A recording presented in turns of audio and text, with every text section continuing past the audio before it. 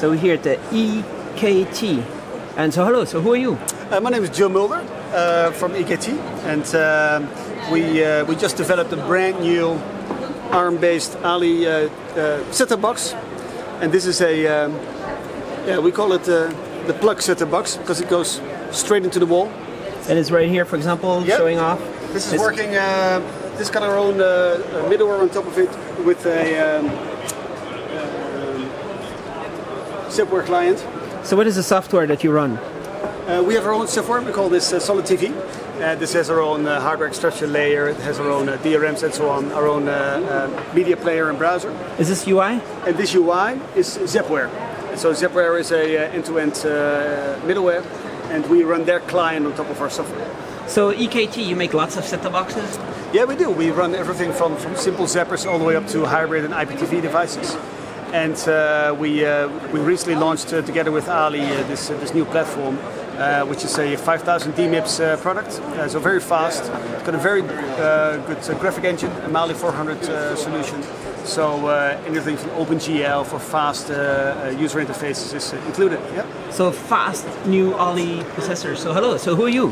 I'm François Galli, I'm the VP Marketing for Ali Corporations. And it's true, this um, Ali plug, they call it EKT plug, but it could be said Ali plug because it's Ali inside also. Yeah. we love EKT because they could do with our new chipset something very interesting, fast, easy, working on our ARM silicons, which is working on 5000 DMIPS, as Jin mentioned. Because How many all the DMIPS? 5000. 5000? So 5000. So you can run Solid TV, Zappware, could run also Android if needed. We could do also Android for pay TV with DRM and CAS. Not act- or some usual Android solutions coming from the tablet world. So what's the GPU? The GPU is Mali, so it's a two Mali uh, 400s that we are running there. And uh, what kind of codecs are supported? So it's a dual A9 core. Uh, uh, dual, dual A9 and it can run uh, which uh, video codecs uh, are video smoothly codecs will be running uh, H264 and the VP8. Uh, we have new versions which are running at HEVC coming now at EBC, and we will have uh, versions for 4K later in 2016. All right. So how big is Ali in the set-top box market? So Ali, we we are number three in the world. Um, Number in- three? in quantities and in uh, revenues, um, behind the two big worth one that you can imagine. Uh, we are coming the full layers of chipsets from free to air to pay TV, and this is what is making us at this Are position. all your chipsets ARM or you have different no, stuff? we have MIPS based, Ali based, or ARM based.